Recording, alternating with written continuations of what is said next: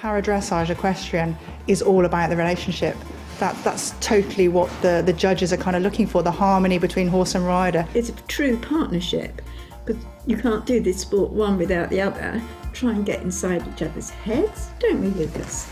He's a bit like Kevin. He's dead down to earth, dead placid. He tries to be a bit pretentious, and occasionally he's gone in the arena today at squad training as if he owns the whole venue. He was like, "Everybody look at me, and I'm schooling. I'm in front of the judge, and a bit of a dude." I don't really have any sight, so the relationship I've got with my horse is all based on trust. You know, if I don't trust him, then we've got nothing really. So it's absolutely teamwork with us. Even from a very young age, um, the bond I had with my partner was incredible. I really felt free.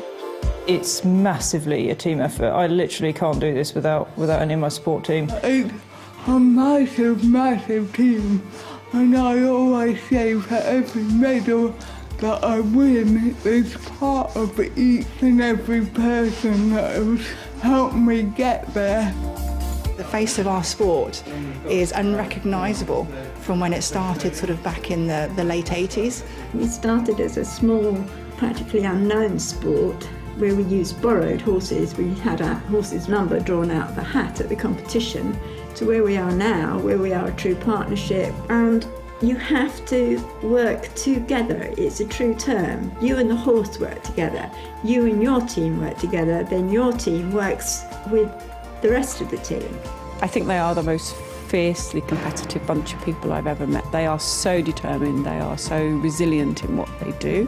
There is great competition amongst the grades, there's great competition within the grades, but off horse, they are a real team. They're the best of mates and they're really supportive to each other.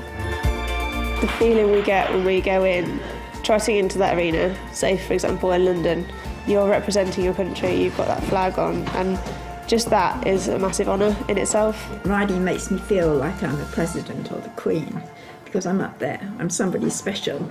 I'm on an animal that's really special. It just makes me feel that I'm able, I can I can do.